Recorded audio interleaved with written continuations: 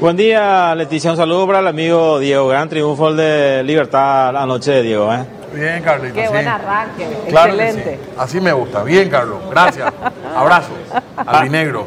Hay, que reconocer, hay que reconocer, sí señor. Nosotros estamos en la comandancia de la Policía Nacional porque hace minutos nada más se da ya apertura al Tribunal de Calificaciones en su sesión extraordinaria. Y bueno, ¿cuáles son los puntos, cuáles son los temas que va a tratar este Tribunal de Calificaciones? Para tener esos detalles estamos ya con la jefa de Relaciones Públicas de la Policía, la comisario María Elena Andrada. Bueno, eh, jefa, esta, estos temas que se van a tratar, bueno, estamos en un momento, vamos a decir, difícil para la policía y estos temas que están ahora en la mesa del Tribunal de Calificaciones. Sí, eh, antes que nada, muy buenos días a la audiencia, a la gente en piso. Es siempre un gusto estar trabajando con Carlos, quien acompaña muy de cerca toda- todas las novedades que giran en torno a la Policía Nacional.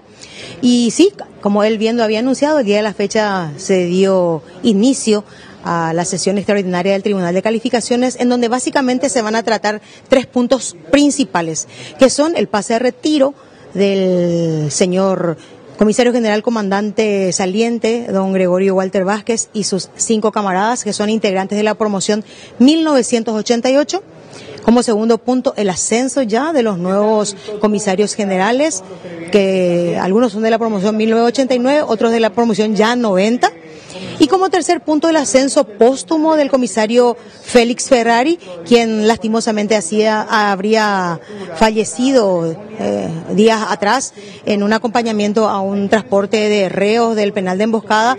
Y es un suceso, digámosle, que enlutó a toda la familia policial, entonces también se va a estar tratando el ascenso póstumo de él. Bueno, y justamente en un momento donde la policía está tratando de sacudirse, de eh, pasar página de esa situación, lo que fue la muerte del comisario Ferrari, eh, vienen y sale a la luz todo esto de lo- de los policías eh, presuntamente ligados a narcotraficantes. Usted, eh, comisario, desde dentro de la institución, ¿cómo ven esto? ¿Lo ven también como un golpe fuerte a la policía o ven como una buena noticia que estén saltando a la luz los agentes que, que- no están, vamos a decirle, eh, dentro de lo que corresponde en la policía?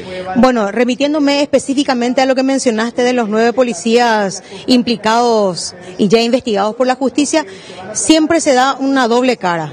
Eh, por un lado, un resultado exitoso en el sentido eh, de establecer la identidad de gente que está caminando un poco al margen de la ley y por otro lado nos enluta porque son miembros de nuestra Policía Nacional. Entonces, eh, por otro lado, eh, mm, voy a tratar de hilar lo que estábamos diciendo. Eh, les- se decía la, la, la doble, el, el- la doble. eh, Las sensaciones encontradas que se tienen. Claro, porque por un lado el resultado exitoso, porque se dio con la captura de esta gente, y lo penoso es que son miembros de nuestra policía. Evidentemente yo no soy quien para juzgar, ni tampoco determinar responsabilidades, esto ya está en manos de la justicia. Paralelamente también el- la Dirección de Asuntos Internos tomó cartas en el asunto y conforme vaya transcurriendo el tiempo, el grado o la proporción de implicancia de cada uno de estos nueve imputados en este momento va a ser determinado por la justicia.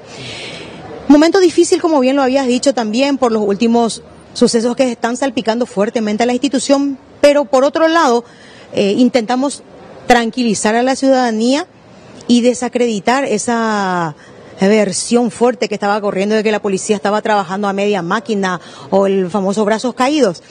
Eh, hay un compromiso asumido por la nueva cúpula y evidentemente detrás de, las directivas que nosotros recibimos estamos muchos también que amamos nuestro uniforme y, e intentamos hacer de la mejor manera nuestra tarea.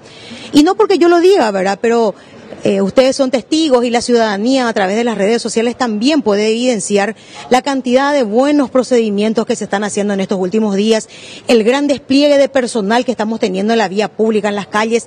Eh, esto genera, creo yo, eh, una una sensación de que la policía está llegando a su a su sociedad, que la policía está trabajando con su gente y para su gente. Y eso, con el transcurso también del tiempo, eh, la propia sociedad se va a dar, se va a estar, digo bien, dando cuenta de que su policía está trabajando. Una precisión, comisario. El caso de estos nueve policías, si bien está ya a cargo de la justicia ordinaria, todavía no está en la mesa de este tribunal de calificación. No, no, porque es un proceso de investigación. Evidentemente, por ley mismo sabemos que todos somos inocentes hasta que se eh, demuestre lo contrario.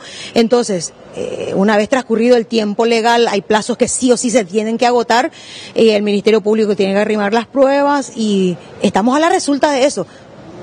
Perfecto, muchas gracias. La comisario principal, eh, María Elena Andrada, jefa de Relaciones Públicas de la Policía Nacional, con esta apertura del Tribunal de Calificaciones, que como bien ella nos detallaba, van a tratar tres puntos. El caso de estos nueve presuntos narcopolicías todavía no va a ser tratado, eso está a cargo de la justicia ordinaria y se tiene que seguir ese proceso de investigación para que luego llegue a este Tribunal de Calificaciones que eh, arranca hoy su sesión extraordinaria, Diego Goletti.